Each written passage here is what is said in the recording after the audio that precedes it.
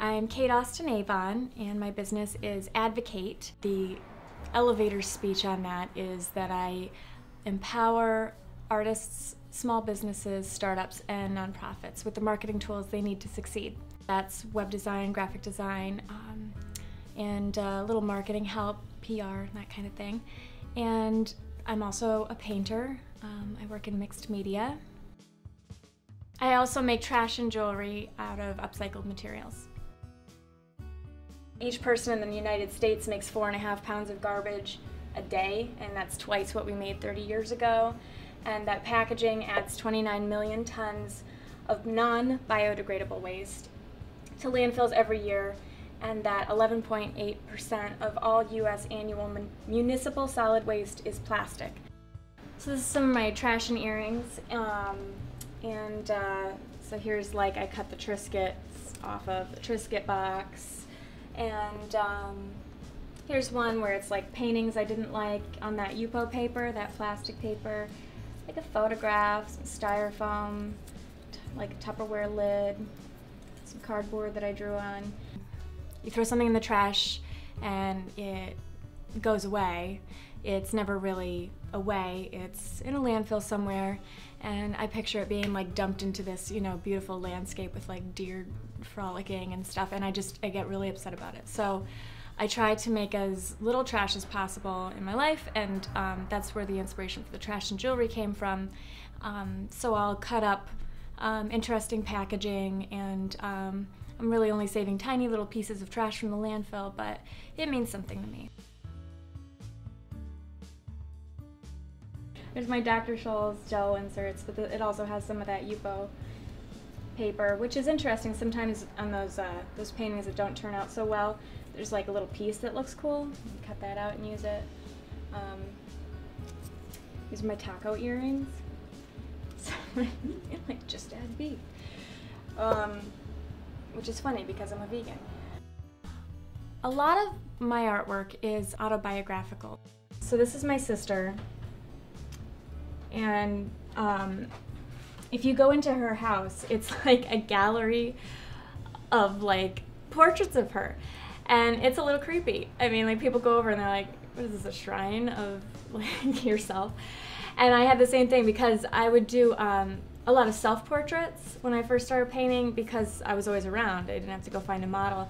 And so if you went into my apartment when I was like 24, it was just like pictures of Kate everywhere and it's a little weird.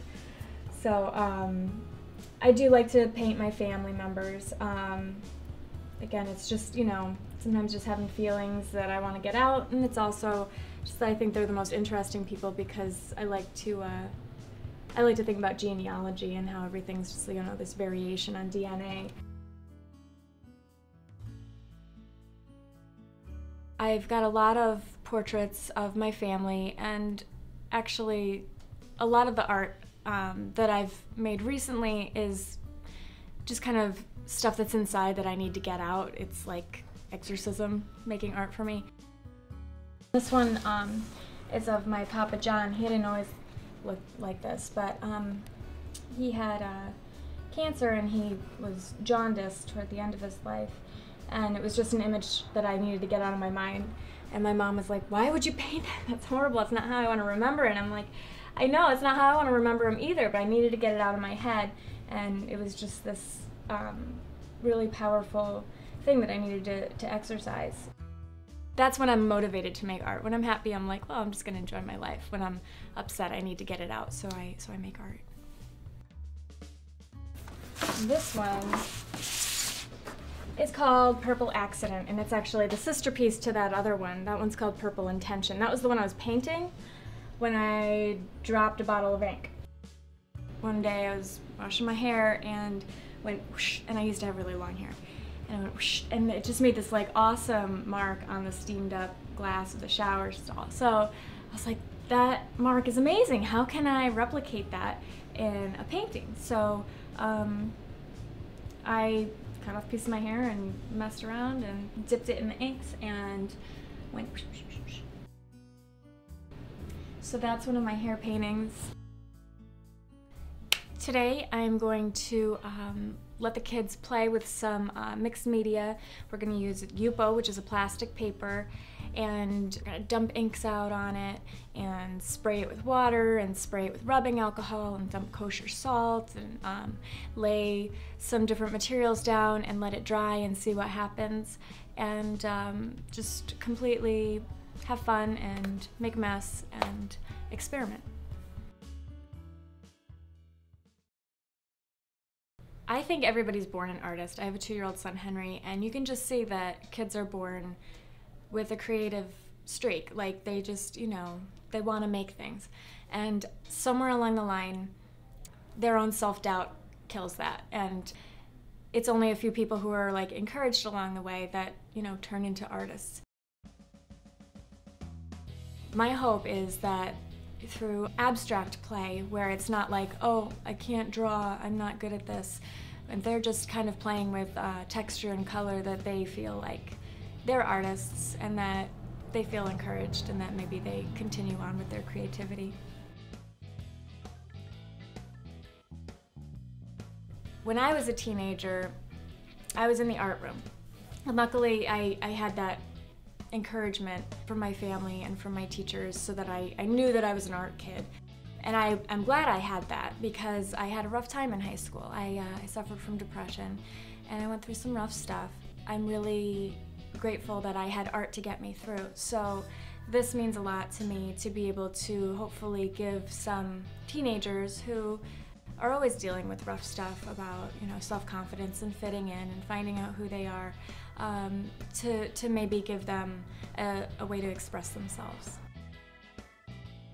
So you see these little textures show up in all my paintings, you know, just from the, the materials that I'm using. You can see some of the salt speckles and this is the um, plastic wrap that I laid in there. And then I'll also go through with rubbing alcohol and because this is a plastic paper, you can erase off of it.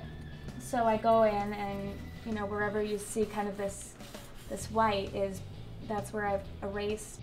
But I really like to go with the flow and um, I really think like you can only control your art so much. Like some of it just is kind of flowing through you. Sometimes there's these moments that happen and it looks amazing and I always wish somebody was like watching me paint, you know, like come here, I'm like come see this, what I'm seeing, it's so amazing. And then it occurred to me like I could take a picture of this because when it dries it's totally different. I had this series of photographs of the process of painting that I had in a show um, called The Flow, appropriately, because you can see some of this like webby texture, and that's from laying cheesecloth in it. But, like sparkly things that are happening. Some of it is me spraying rubbing alcohol on it, and some of it is me putting kosher salt in there, and uh, the kosher salt is bigger chunks, so it's more noticeable than just regular salt would probably just make a blob. Um, but I like doing that, and sometimes I don't pick off the salt afterward because it makes it look glittery and pretty. So it's kind of like a sculptural process, like where you you take away and you go back, you take away and you go back. And here, like I erased and then went back in with watercolor paint. What I hope to take away from this experience is um, really just enjoying watching that and um, seeing what they come up with uh, seeing how they might build some confidence in their in their own inner artist, and um, it's always interesting. I mean, this abstract stuff. It's just you know, everybody's a winner. So it's exciting to uh, to think about seeing kids this age, especially, um, feeling a little confident, and I really hope that um, that they do. Hi, I'm Ariana. I'm Hannah Yarder. Adam Burgess. I'm James Davis. And I think the title of this piece is Lightning and the Sun because this side looks more like a storm, this side looks more like, well, not a storm. if I had to pick a title, I'd probably say uh, Fantasia, just because the music from that is what's going through my head as I create it. My masterpiece, if this were pizza, I would not eat it. I'll just name mine titleless.